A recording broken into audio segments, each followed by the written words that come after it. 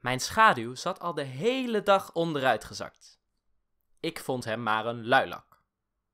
Dus nam ik de eerstvolgende trein om zo ver mogelijk van zijn slechte invloed weg te zijn. Soms was ik hem even kwijt, maar na verloop van tijd kwam hij altijd weer tevoorschijn. Ik maakte boze gebaren om hem te verjagen, maar in plaats van weg te gaan, besloot hij zich tot mijn niveau te verlagen en die boze gebaren gewoon na te apen. Ik keek mijn schaduw aan en vroeg hem of hij misschien, eventueel, alsjeblieft, zo vriendelijk zou willen zijn om weg te gaan. Maar hij hield zijn mond en bleef gewoon liggen op de grond. Ik zuchtte diep en zei: Oké, jij wint. Ik stop ermee. En juist op dat moment kreeg ik een idee.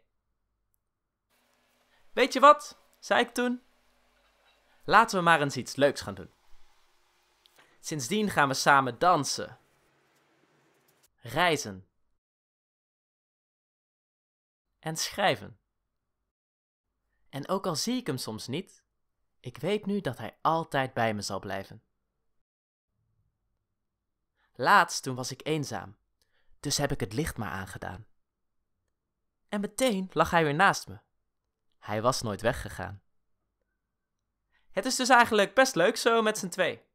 Want als ik ooit alleen moet lachen, lacht mijn schaduw met me mee.